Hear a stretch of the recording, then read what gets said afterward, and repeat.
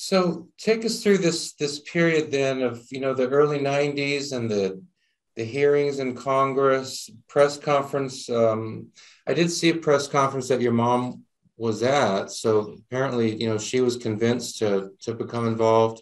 She was dramatic. I mean, yeah. she was on the cover of Newsweek magazine, Good Morning America.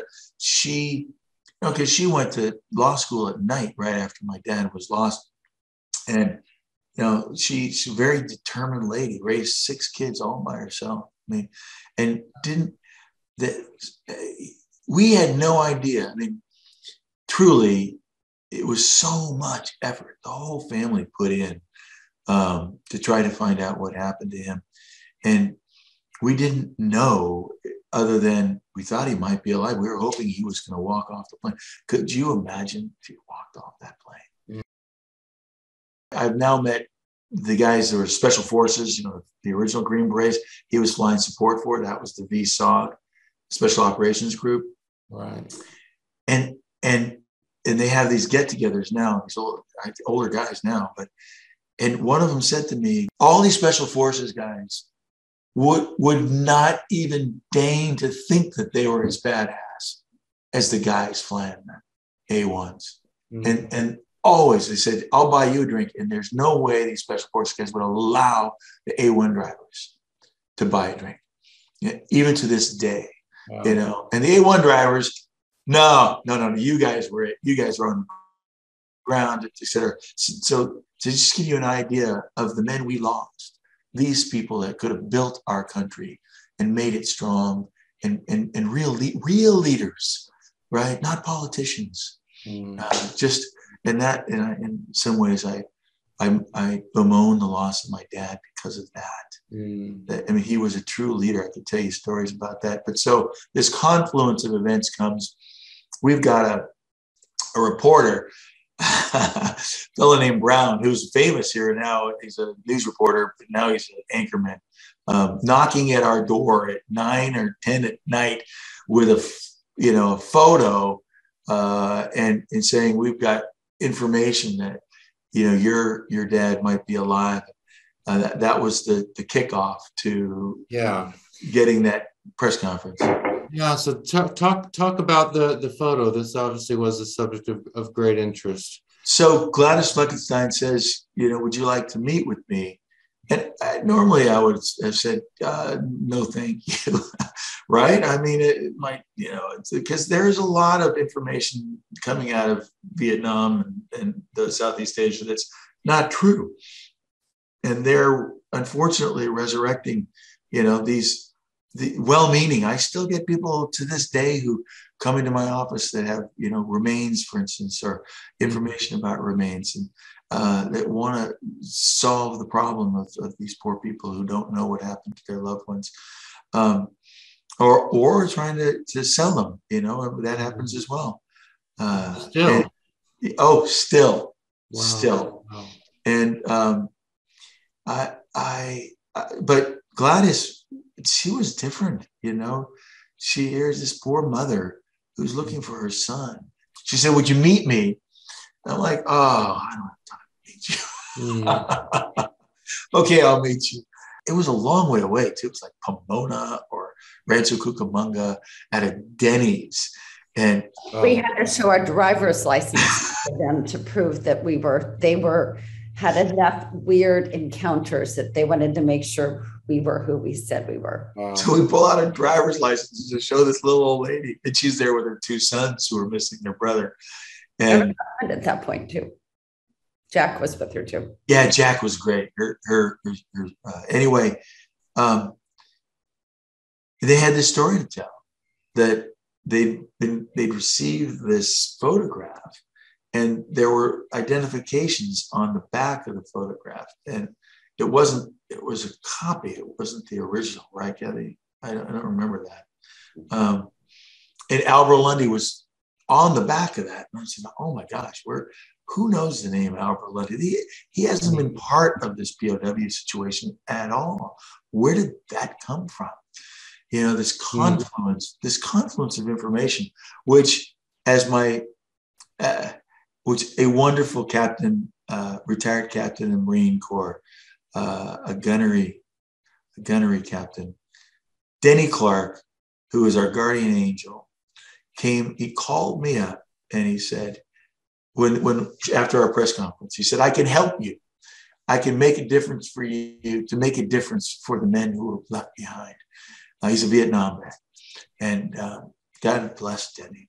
And he also is a fellow who does exhibits for for trials, and right. so he blows up because I'm going to where Cathi set up a, a press conference in Washington D.C. Yeah, and I'm on the I'm getting on the flight. He meets me at the gate with all these trial exhibits that I'm now going to use for my press conference in Washington, which are smoking hot, great exhibits. Um, and I had no idea who this. Yeah. I didn't know who he was. I never met him. I, and there's all all of this secrecy involved, right? And I'm like, ah, should I meet this guy or not? Should I give him a photograph or not? Or what's now I'm caught up in it. Uh, and these are the things where you've got the the photo of your dad around 1970, and then the photo side by side. he did the overlays side by side with the 16 points of comparison or something. Yeah, like he did the overlays. He did. The, I got to walk the halls of Congress because I'd done a fellowship in, uh, called the Coro, C O R O, Coro Fellowship, and part of what the fellowship does is trains you in public affairs. So I knew how to walk the halls of Congress, right? I knew how to do the leverage that I needed to do. I knew the it was amazing. And as, as and I don't know, and, and we've tracked it down to the point that I can honestly say I don't believe that photograph was my dad. But what it did do was elevate the issue to the forefront. And and as Denny said, well, it may not have been your dad, but we sure got a lot of press out of it. no, and no I would say just the way that Pentagon handled that photo showed that they were not interested in truly finding the men. They immediately went to disproving the photo and saying it was fake instead of this could this could be legitimate. The fingerprints could be legitimate. Let's let's look into this and see if it leads to a man. And i think repeatedly that's what we came back to to say the way this is mishandled is not honoring the men it's they're not about bringing them home and finding them wherever they are they want to end this issue they want to end discussion they want to cut it off and so that's, i feel like that's really what the photo helped illustrate. And that was our drive to get a Senate Select Committee. I mean, that was our drive. That was the press. And it was right in the middle of that that I'm walking the halls of Congress. And we had this press conference, and they didn't think much of it, right? The press didn't, at least in DC. Um, and so, like, the Washington Post sent a style writer. Style writer a style writer to cover it right? It was it was being covered internationally. Who's just but, never had a big story. He's always been on the inside. And he uh he never had a front page story. And and this and it blows up you know so i mean we're everywhere i mean we're everywhere but, but this style writer writes the story of his life and the next morning he is top of the fold front page story with yeah. Albro on the cover of Washington Post. So here I am. Mm-hmm. I'm staying, I'm sleeping on the floor at my sister's house. She lives in Virginia. And I get up and I'm going into DC and I'm going to go start knocking on doors, right? Mm. And I'm going to start ta- talking to congressmen. Sure. Yeah. And back then, the paper was a big, big deal. And the Washington Post at the metro stations had uh, paper news racks that were 20 news long, 20. And I was on the front page. I walk up and there I am, bam, bam, bam, bam, bam, bam, all the way across. I'm like, wow, wow, yeah. this is amazing. I, we would say God works in mysterious ways. And this was hmm. amazing. So I'm like, well, maybe I should buy one of those. and I buy five of them.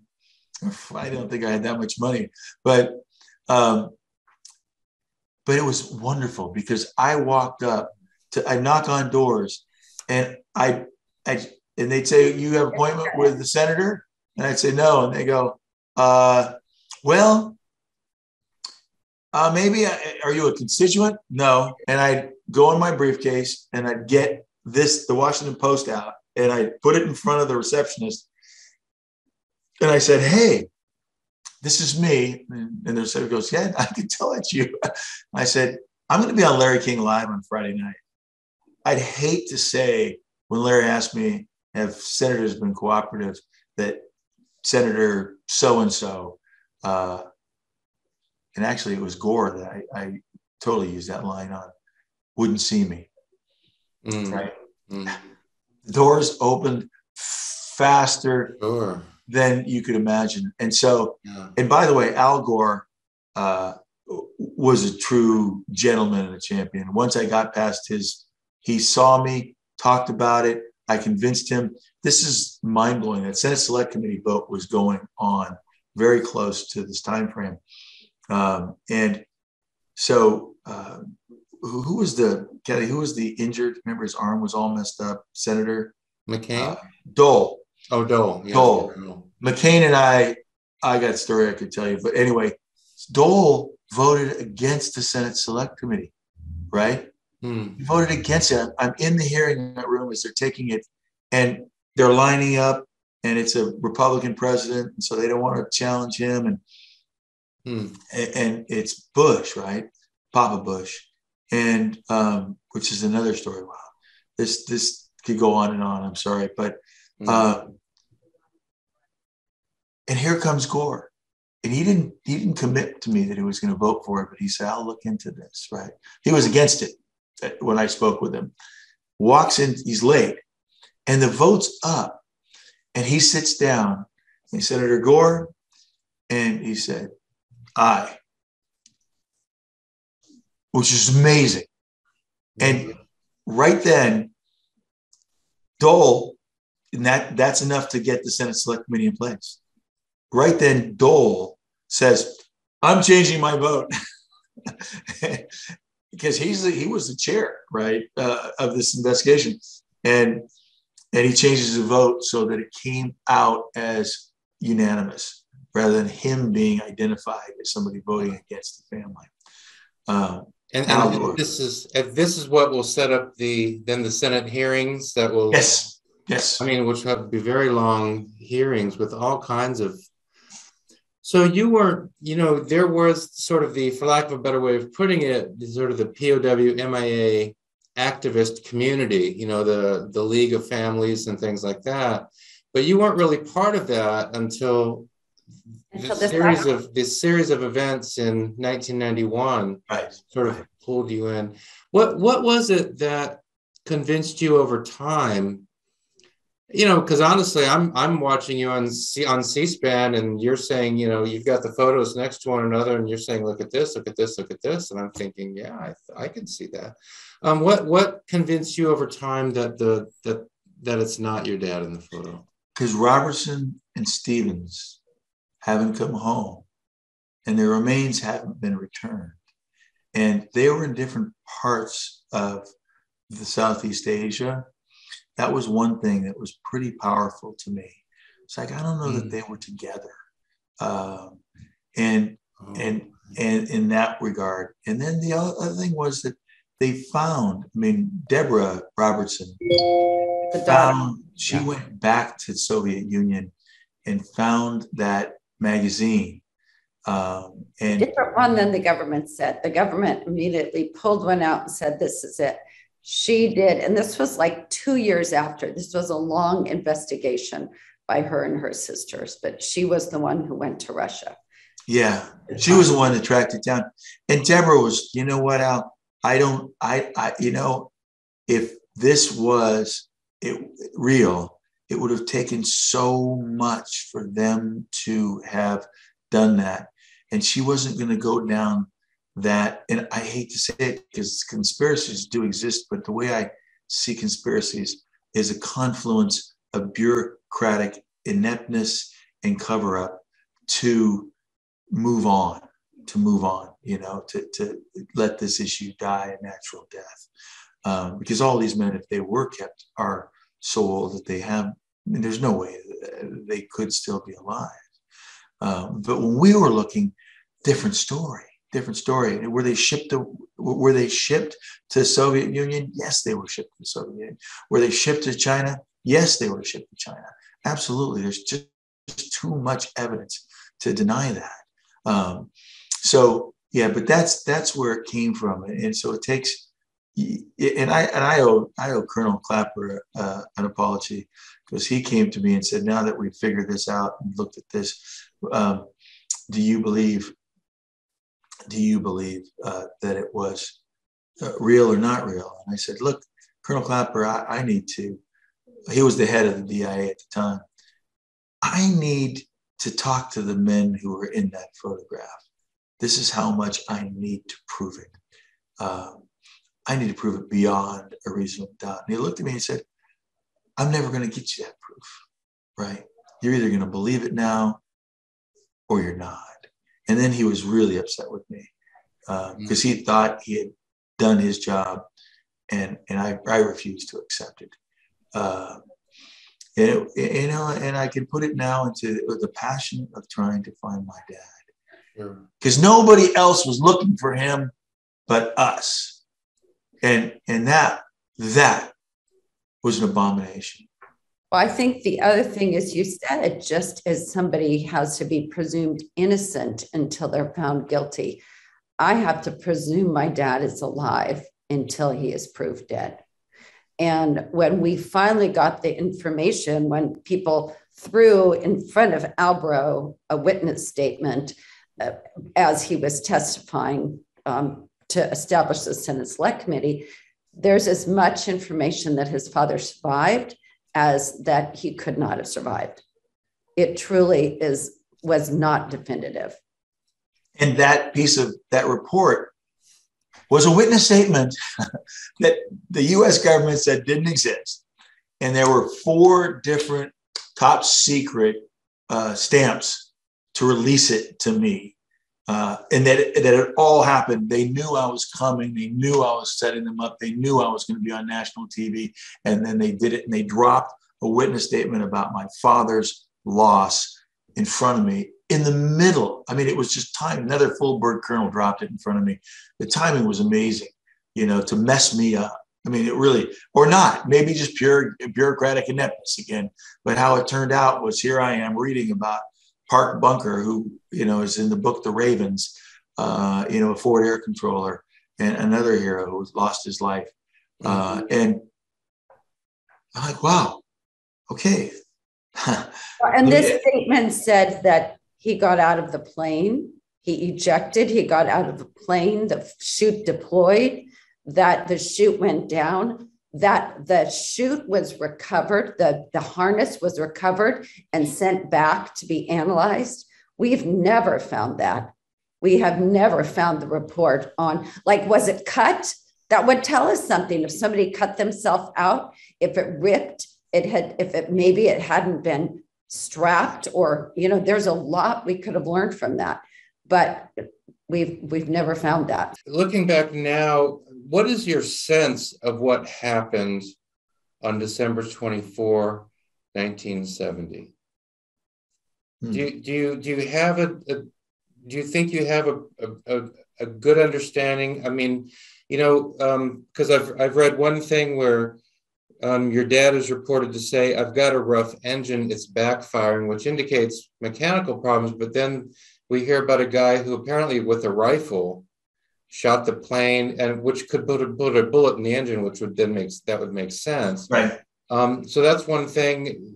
The chute deployed, but then it seems that somebody said, but the chute, there was no one in the chute or something like that. Dude, what what is your sense of what happened then after all of this time um, all of these discussions all of these interactions with government agencies other people in the POW MIA community what what is your sense of what actually happened on December 24 1970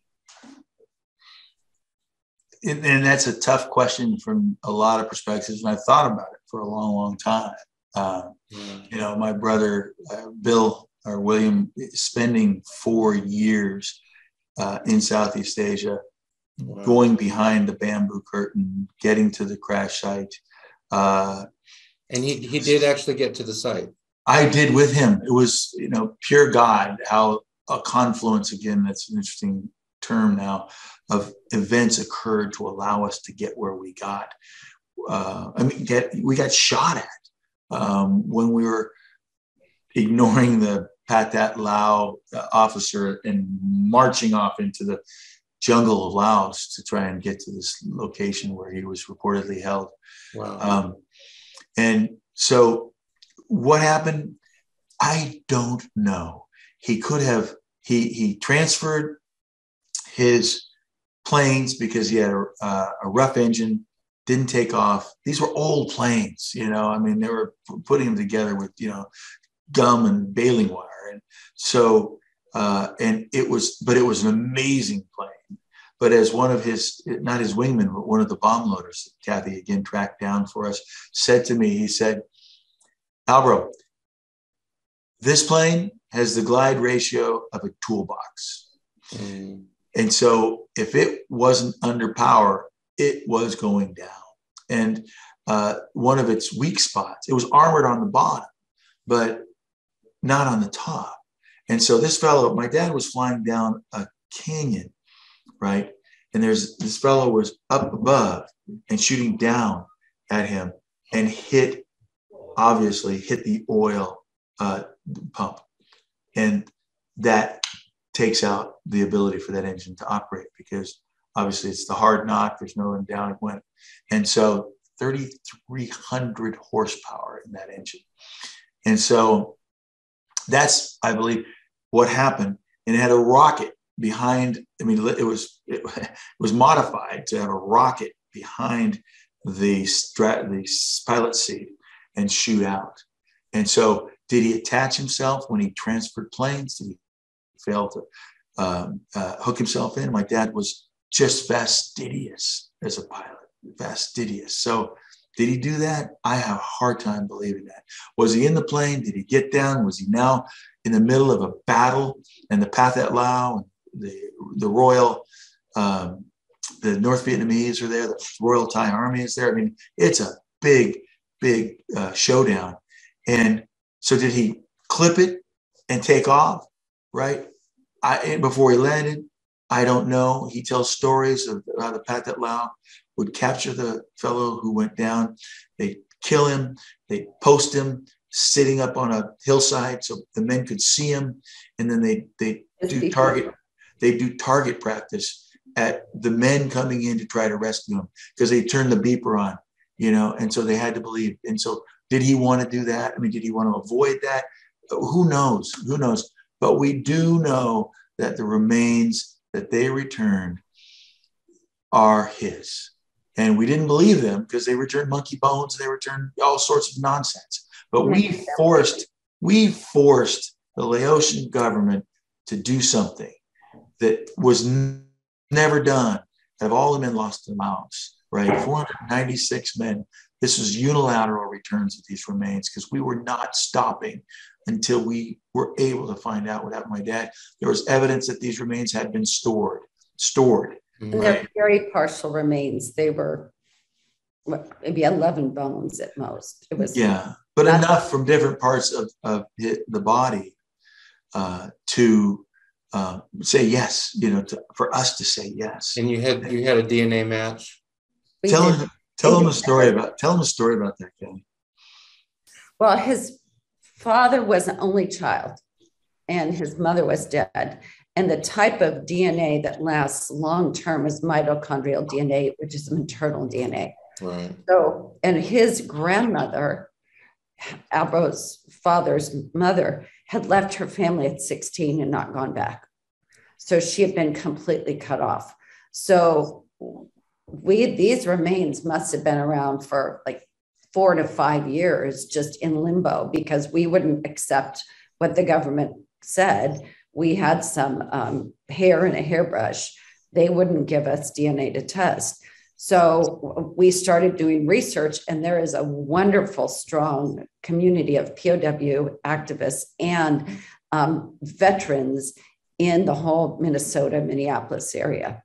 So mm-hmm. we just put out the word that his grandmother had been from there. Can anybody help us find this family? So they actually helped us reconnect with the mother of Albro's father. And they had said that they waited for her mother, had a candle in the window, waiting for her to come back home. And um, it, we were able to reconnect, meet the family. One of her sisters had a daughter, and we were able to get maternal DNA that we kept. We did not give to the government. Um, and at a certain point, Albro got a phone call from a, a general's son who is a general. Is that right?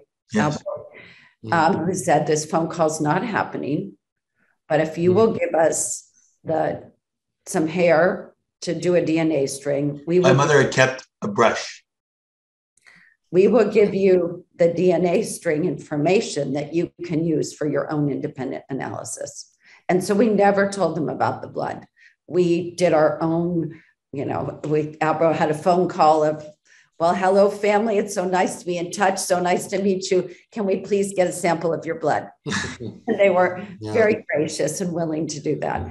And so, you know, the the blood DNA matched the markers in the, the bone that they had. I found the foremost DNA specialist in um, Texas, and, and he wanted to help us. You know, and I, I mean, I paid for the the processes, but um, he then said, "This is exact," because you know, the hair he extracted from the hair and said, "This is exact." They gave us the DNA strands, and that allowed us to say, "Okay, yeah, you know, he he let's let's you know they brought him home. My uh, nephew was at the Air Force Academy at the time. He escorted his remains home, and we had the uh, heroes uh, welcome and the hero's burial at the very same time.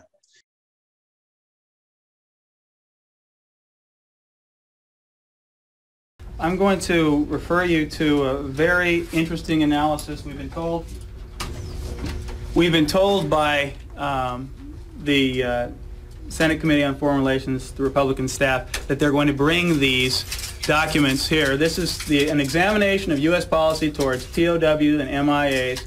It's by the U.S. Senate Committee on Foreign Relations Republican staff. It specifically addresses what's happening with regard to the technical language that is being used by the DIA in, with respect to live or eyewitness reports and explain to us exactly what she was told by DIA about certainly certainly I just wanted to get to the answer to your question and what happens is we have all of these legalistic really truly legalistic and I'm an attorney and I, it boggles my mind that they're using these legalistic terminology to phrase eyewitness accounts of people that are over there alive well, I happen to be, I'm with the Navy, and it so happens that I was the first one to receive the information through Trowbridge, through the DIA.